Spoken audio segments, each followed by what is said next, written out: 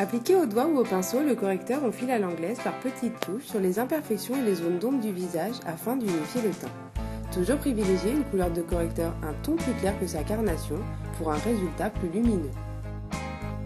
Agitez le flacon de l'eau de teint on se revitalise pour obtenir une texture homogène. Versez quelques gouttes dans le creux de la main. Déposez puis estompez l'eau de teint grâce à l'éponge applicateur prévue à cet effet. Le teint est unifié et matifié sans effet de surcharge. Choisir une teinte de poudre matifiante on se cocoon, proche de la carnation. Prélevez la poudre à l'aide du pinceau on se pomponne.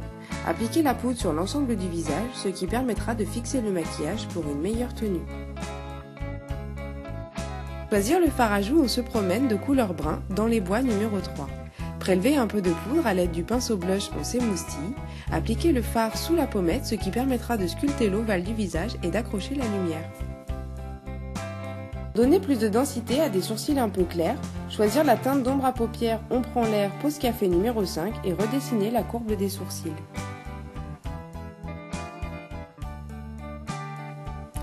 Prélevez l'ombre à paupières On prend l'air avec le pinceau en fanfaronne humidifié.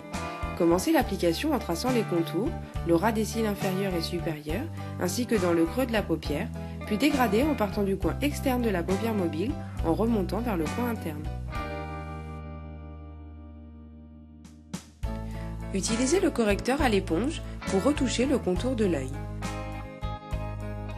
Appliquez l'ombre à paupières libre en semé au vert directement grâce à l'embout estompeur contenu dans la flaconnette dans le coin interne de l'œil et sous l'arcade sourcilière pour agrandir le regard et capter la lumière.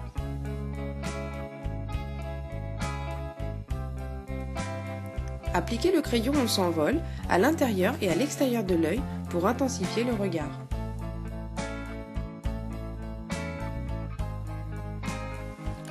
Appliquez le mascara en papillonne en prenant soin de bien décoller la racine des cils afin de les recourber et d'agrandir le regard. Choisir un baume à lèvres en sème de couleur beige un peu numéro 1 ou transparent à la folie numéro 4 pour ne pas surcharger le maquillage, l'accent étant déjà mis sur les yeux. Appliquez au doigt ou au pinceau sur l'ensemble des lèvres.